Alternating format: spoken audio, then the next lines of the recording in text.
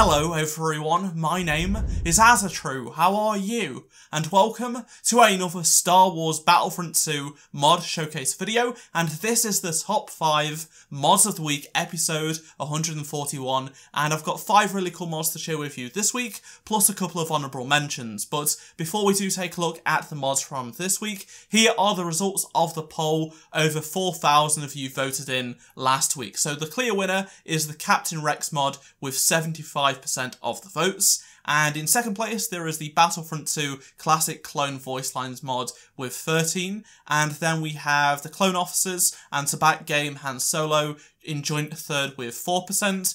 And then with 3% we have the Rebel Commandos mod. Remember, after you've watched the entirety of this video, you can participate in the vote for this week. Just head on over to my channel page, then the community tab and the vote will be there. Moving on to the mods from this week, starting with two honourable mentions. So we have the Earth-like skybox for Geonosis created by Spectre, and this changes the skybox and lighting of Geonosis to resemble something more like what we'd see on our planet of Earth.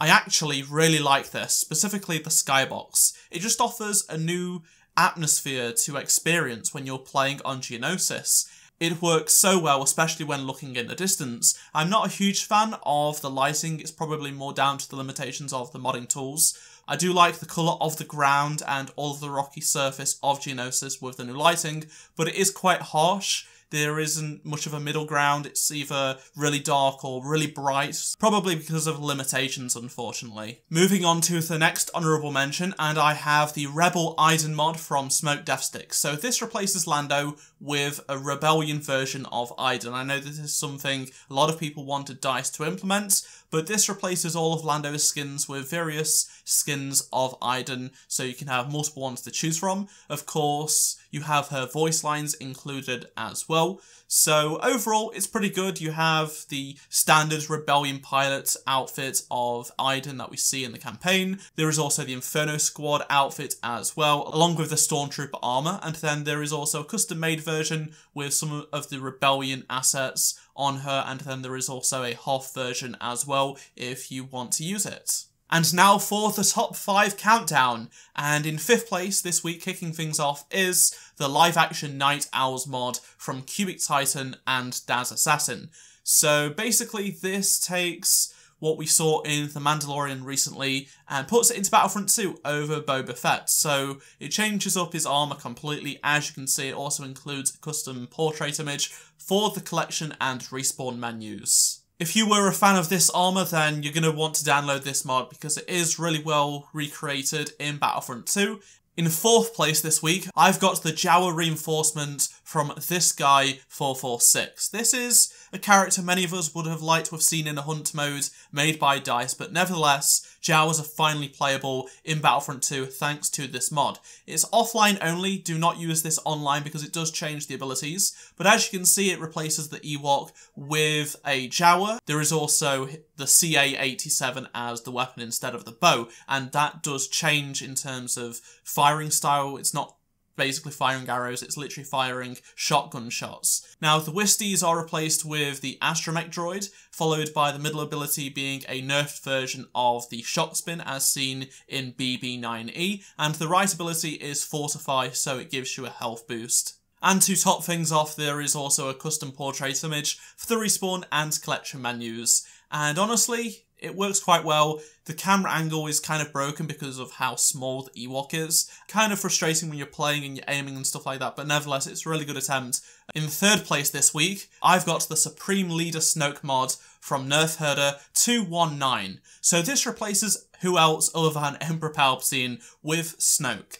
And even though the face is not as good as one of the previous Snoke mods we've had before, it hasn't been updated in a very long time, so this is a more up-to-date version of Snoke, and it's a good attempt. I do think that the cloth work, the clothing and stuff is a real highlight. Great job there. There is a custom icon for the collection and respawn menus. There is also voice lines for in-game emotes and just random chatter. Darkness rises and light to meet it. I have been every voice you have ever heard inside your head.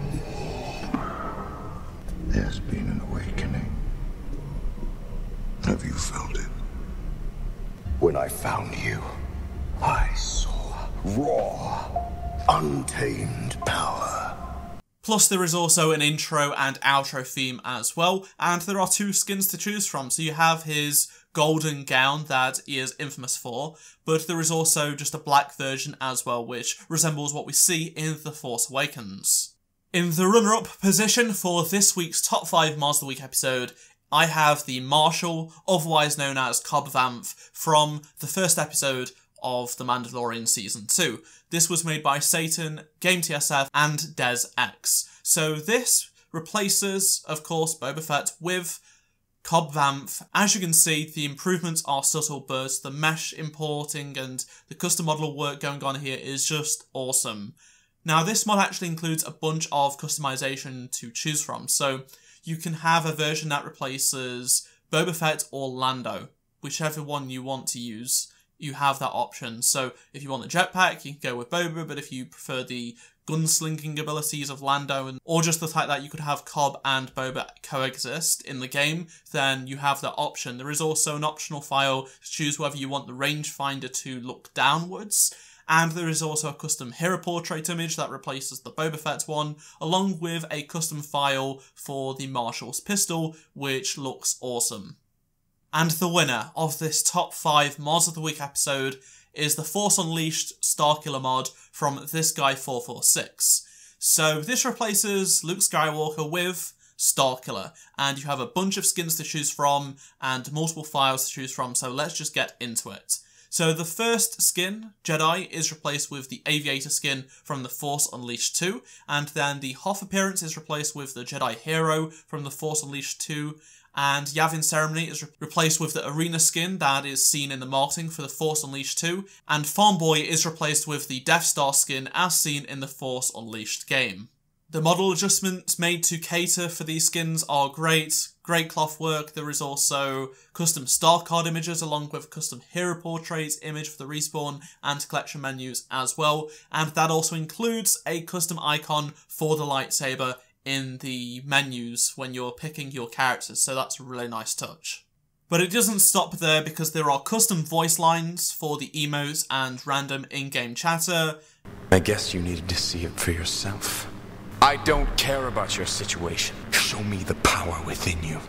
You should know who you're dealing with custom music for the front end, a custom loading screen, and text changes as well, not just in the description and name of Luke Skywalker, but also all of the skins and their descriptions as well, which is awesome. There are also four additional files for multiple lightsabers and their orientations, so you can have both the Force Unleashed or the Force Unleashed 2 lightsaber going forward, or if you want to use it with the backhand way that Starkiller does in those games, then you can do that. But it is best used when using the offline additional file, which changes the animation to better represent Starkiller in the Force Unleashed games. And it also changes his abilities as well, so don't use this mod online because you will get banned. Those are your top 5 mods of this week plus the honourable mentions. Remember you can vote using the comments down below. Just let me know which ones were your favourite. Or use the poll in the community tab, which is on my channel page right now. And if you do want to check out any of these mods for yourself, there will be download links